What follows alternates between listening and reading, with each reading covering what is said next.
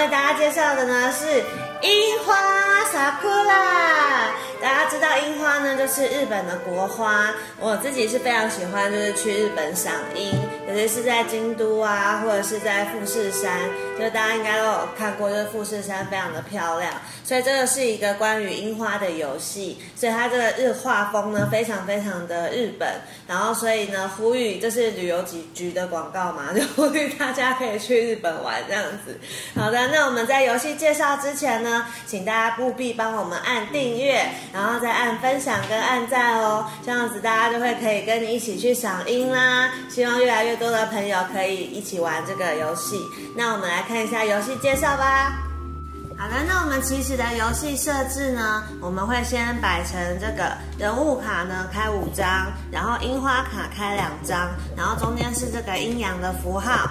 那手牌的话呢，我会根据人数而不一样。这个游戏非常的特别，就是它可以二到六个人玩哦，六个人可以一起玩的小策略游戏很难得，所以它最多呢，呃，最小手牌会有六张，就是如果六个人玩的话就是六张，如果二三四五人玩的话呢，分别是。十四张、十二张、十张、八张这样子，所以都是呃人数增加一个，就是手牌要减少两张，所以六个人玩就是六张。那我们游戏开始的时候呢，先选一个起始玩家，你可以得到这个非常漂亮的樱花标记。那他是说，呃，看近最近看过樱花的人可以当起始玩家。如果你们是一起去看樱花的，那就只好打一架喽。好，那我们开始的时候呢，每个人会有一个这个阴阳的符号，呃，黑色是阴，白色是阳。好，其实不重要啦。然后那个五块钱，一开始大家都会拿五块钱，它的钱币也非常的。复古就是日本的那个古钱的形状。好，那我们就可以开始游戏了。那起始玩家呢，就是轮到你的时候呢，你必须要打一张卡片。那我们的卡片当然不是这样子给别人看的，我就是大家看不到彼此的卡片。好，那我先给大家看一下。那我们打卡的呢有两个规则，第一个规则就是说，它要必须要符合它的。台面上这两张牌的数字，那如果是呃在黑色这一边的数字呢，我必须要比它小才可以打出来。第二个规则就是你必须要同颜色，你才能够打出来。像这一张如果是白色的十二，那我如果是那我就要找白色的，例如说白色的十，那就可以把它打出来，然后盖在上面这样子。好，那如果是白色的这边呢，就是必须数字要比它大。而且也是要同颜色，所以它这边是呃橘色的八，橘色的八，哇，我这样没有橘色比八小的数，哎，比八大的数字我都没有橘色的，那这样子我就不能出在这一边。好，那所以只要打一张牌就可以了，所以你就自己选说你要呃打白色这一边还是黑色这一边。那还有另外一个可以出牌的地方，就是说，如果我有是呃同数字可是不同颜色的，我也可以把它打出来。例如说这张是黑色的八嘛，那这边是橘色的八，那我就可以用黑色的八来覆盖橘色的八，这样子也是 OK 的出牌规则哦。我们出完牌之后呢，你可以自己选择说你要不要买一个这个人物。对，然后人物的话呢，其实随便你要买几张都可以哦，而且是任何时间买都可以，就是不管是你是出牌前或是出牌后，任何时间你想要买几个就买几个，对，它就是有钱最大的一个游戏。那多少钱呢？就是可以看一下这边的话有画一个小小的圆形，它就是一块钱，然后两块、三块、四块、五块，就是越新出来的人他就会越贵。所以最靠近这个排队的是五块钱，然后最便宜的是一块钱。那如果你五个人都不满意，也是可以把他们换掉的哦。你就砸大钱，可是你必须要先有六块钱，就砸了六块钱，说你们现在给我滚，好，他们就滚了，然后去那个弃牌堆，然后重新开五张。而且呢，再重新开五张，你可以任选一张。就是免费把它打出来，对。那这些牌，如果你买了一张，例如说，好，那我买了一张这个好了，这个正妹被我买下来了，那它就必须要马上使用它的功能。像这个功能的话呢，它下面画了一个樱花，就是说你可以抢起始玩家，所以有可能就是起始玩家等下就换人了。那除了这种牌以外的话，就是其实玩家基本上是不会换人的，除非你有买到这种抢起始的牌。对，它有一些比较特别的是说，有一些牌呢上面会有这个阴阳的符号。阴阳的符号就是说，你打出这张牌的时候呢，大家要一起一起决定一面阴或是阳。对，就各自分别选一面。例如说，我想要阴，那我就把它阴的，就是藏在自己的手上，然后数到三，一二三，就大家一起打开来看，大家出的是黑色还是白色？有一点像黑白配的感觉啊，就是黑白配，然后就大家是开一张，就是黑还是白。好，那如果大家。的数字跟你一样的话啊，假如说大家的颜色如果跟你一样的话呢，那你就可以获得这张牌的特殊功能。它的特殊功能就是说，有几张颜色跟你一样的这个阴阳。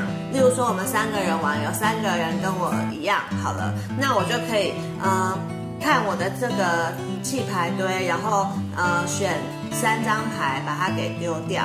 好，那为什么我们会有弃牌堆呢？因为有一个非常悲惨的状况会发生，就是说你没有办法出任何一张牌，就是这两吨牌你都没有办法把它打上去的话呢，那你就只有一个选择，就是把它吃一吨回家。对，所以它不管是吃一吨或是两吨都可以啦。可是通常我们只会吃一吨，除非另外一吨就是没有扣分，就是你有可可以吃两吨的状况。啊，当我吃一兜回家以后呢，会发生一件非常幸运的事情，就是我捡到了一些钱。没错，就是钱。就是它如果这个数字下面呢有画这个钱的符号的话呢，就表示它会给你钱。所以像这样子的话，就有一块，然后这边有一块，所以两块啊，这个没有。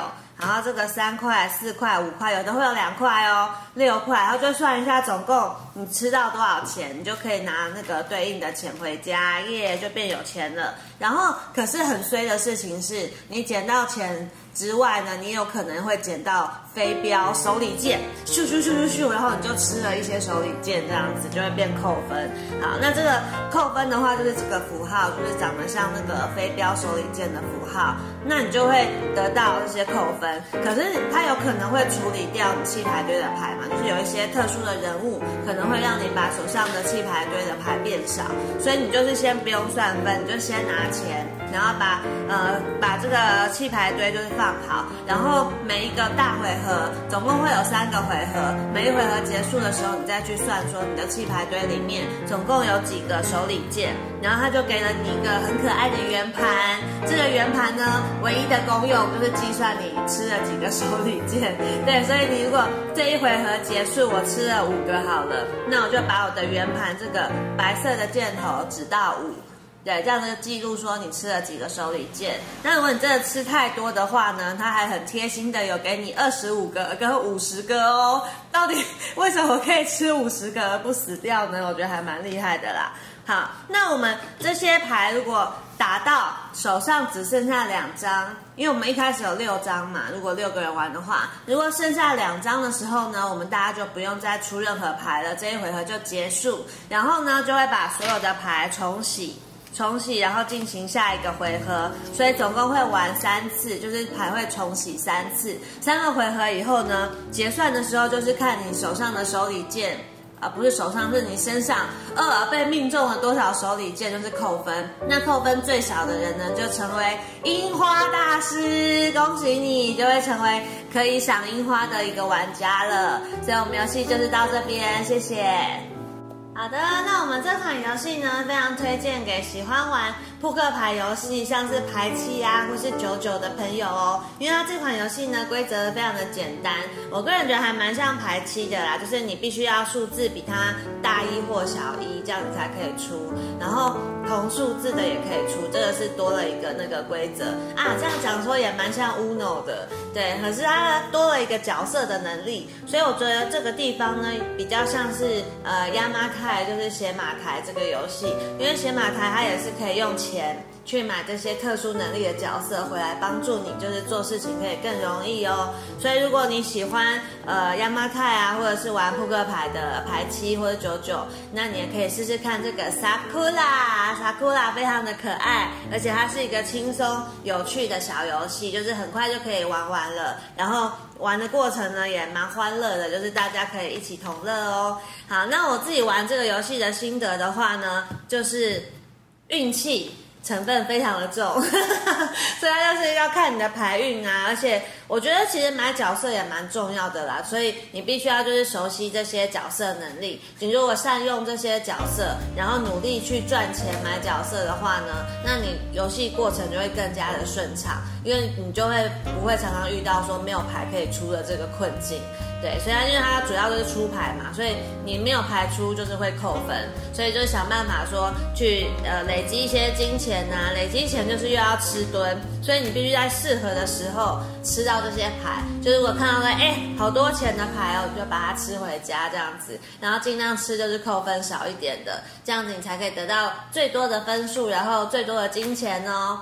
好，那我们在这个游戏的结束的时候呢，必须跟大家推荐一下我个人的最新专辑，叫做《唇蜜》。唇蜜的话呢，它里面有十首歌曲，这边有附 CD 十首歌曲，然后还有一百六十页非常多的写真哦。而且重点是，如果你来我的秘密基地桌游店购买的话呢，还可以送你一盒桌游《狼人真言》。非常非常的划算，因为这个桌游呢，它要四百九十块，可是买我的专辑比较便宜啦，然后还可以免费送给你一盒桌游，希望大家可以多多支持一下喽。好，那如果你喜欢我们这个影片的话呢，拜托大家就是按订阅，然后按赞跟分享，这样这个影片才会给更多更多的人可以看得到。然后如果你有喜欢的游戏想要我介绍的话呢，你也可以留言在影片的下面，我们看到的话。会这个游戏就会帮你介绍喽。好，那谢谢大家今天的观赏，我是秘密基的李密，大家拜拜。when I kiss the face. Oh, how today I made.